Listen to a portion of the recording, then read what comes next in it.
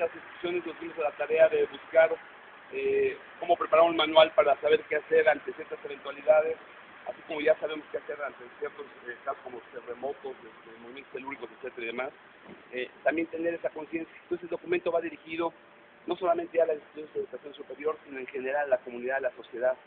Y, este, y lo que pedimos también fue a instancias profesionales como la Secretaría de Seguridad Pública, a Senado García Luna y a todos sus equipos colaboradores, con quienes hemos trabajado también las instituciones tanto privadas como públicas para poder eh, lograr algo que el país quiere, que es la profesionalización de la policía como tal. Y ya llevamos dos años trabajando, ya se han contratado más de 13.000 jóvenes de todas las áreas del conocimiento en aspectos de investigación, de desarrollo, de captura de datos, etcétera, etcétera. Y acabamos de renovar otro proyecto igual de dos, para otros dos años, en donde pretendemos alcanzar el rol de 30 a 35 mil jóvenes que estén trabajando en la policía y que esto ayude en lo que nosotros queremos, tener gente bien preparada, tener gente que realmente responde a las expectativas, no a la corrupción y demás. Y de manera conjunta le pedimos, le pedimos a García Luna que por favor nos revisara el manual, que diera sus opiniones, sus comentarios con su equipo de trabajo, cosa que lo hizo y lo agradecemos, y quedó listo. Entonces en la sesión que tuvimos ahorita de rectores en, en Mérida, en alrededor de 70 participantes, rectores de toda la República, universidades públicas principalmente, lo aprobamos y ahorita ya está listo para irse a la imprenta y a, través de correos electrónicos y, la forma, bueno, tecnología como tal, distribuir en todas las instancias. Le entregamos nosotros también al secretario de Educación, al maestro Alonso Lujambio, este documento para hacer por el amable conducto de entregarle al presidente de la República, como uno de los compromisos que nosotros acordamos cuando él nos solicitó su ayuda para poder eh, trabajar las instituciones en algo que nos compete, que es educar. Por eso siempre estamos pidiendo a todas las instancias, a gobiernos estatales, federales, etcétera, al gobierno federal, que nos apoyen, hombre. A través de la educación podemos entre todos ayudarnos para salir adelante de muchos de nuestros problemas.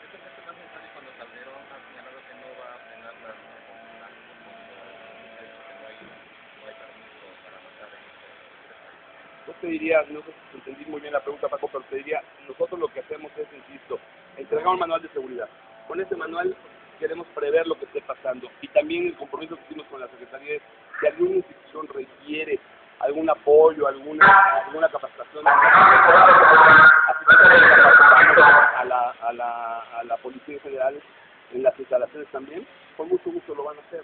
Y a través, a través de la tecnología como educación a distancia, etcétera, lo que vamos a hacer también es seguir capacitando a más jóvenes en todo el país para que se requieran, cuando, se requieran, perdón, sean ellos atraídos si ellos lo desean, por supuesto, y que eso ayude, repito, a la profesionalización de la policía. ¿Puede ejemplificar, por ejemplo, qué cuestiones son las que se van a prevenir? ¿Qué tipo de cuestiones están previendo en este manual? Mira, algunas son situaciones como normales, como son robos, este, secuestro ahí en, en, en algunas situaciones normales, perdón por el término, creo que no fue el más adecuado, y este, violaciones, etcétera, pero también intromisiones de comandos, eh, usos de armas, detonaciones, de, granadas, etcétera, etcétera. ¿Qué hacer? Y muchos de hemos dicho nosotros, por ejemplo, lamentablemente como seres humanos la curiosidad cuando vemos un accidente automáticamente estamos buscando qué hacer, cómo asomarnos, a ver qué pasó, etcétera, ¿no? Estás en una, en una escuchas un fuego cruzado, muchas veces nos llama la atención acercarte a la ventana a ver quién es, es lo peor que puedes hacer, ¿no? Yo que si estás en una aula, etcétera, tírate al piso, tranquilo, guarda la calma, a tus compañeros igual dale un mensaje de tranquilidad, agacha la cabeza, no veas. Estás viendo, por ejemplo, que la gente le molesta que desviase el rostro, etcétera, etcétera, tú no tienes que ser curioso, simplemente deja pasar las cosas. Y como eso, muchas más. O sea, ¿qué hacer los jóvenes de protección civil? Porque el, manual va dirigido a los estudiantes principalmente, pero también a los trabajadores administrativos y a los directivos en general. todos, todos son seres humanos, ¿no? Entonces, qué hacer, a quién llamar, cómo acudir. Otro aspecto importante, la Secretaría de Seguridad Pública nos ofreció tener contacto directo con líneas, las instituciones, a personal que esté en los estados, en las entidades federativas como tal, para poder llamar de manera inmediata y saber qué hacer, porque son muy diversas las formas que están introduciendo en las Recuerden que no hace mucho, una que nos ha calado mucho también es jóvenes en un aula, empieza a pasar lista el maestro, y cuando nombran a una persona se levanta a pasar la lista y, se levantan un par de jóvenes sicarios y lo acribillan ahí en la, en la ¿no?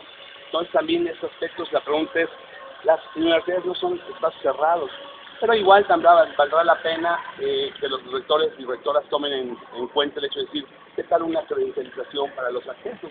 No nos quita nada. No hablamos ni de arcos para metales, esto, lo otro, etcétera. Pero sí creo que si todo el mundo estamos a una institución, mucho las públicas, las privadas lo hacen, pues las públicas también lo pueden hacer.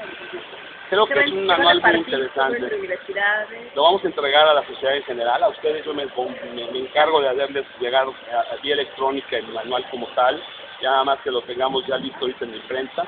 Y este, bueno, electrónicamente se los podemos dar, yo. ¿Pero por cuánto esperas que ya se pueda estar repartiendo Antes de que termine abril, seguro, porque es lo que tarda más en imprenta electrónico, ya lo tenemos, ya está aprobado. Le vamos a dar los medios de comunicación, le vamos a entregar al secretario, bueno, ya se lo entrega al, maestro Lujambio en el sentido de pedirle que él se encargue de estar distribuyéndolo como debe ser en todas las instancias, porque puede seguir en las primarias, secundarias, etc. Y a la sociedad en general, yo creo que es una aportación, insisto, no la es nada más este, solicitamos recursos para seguir manteniendo, sino las instituciones tenemos capacidad para ayudar en muchos, muchos de los problemas que vivimos como sociedad. Entonces, es fundamental. ¿No prevé el de De ninguna manera, de ninguna manera sí prevén en el hecho de decir que hay que capacitarlos como se ha hecho, y cito aquí en la Autónoma de México con muchas otras, con mucho gusto, porque eso es lo que queremos, que estén mejor preparados, capacitados, etcétera.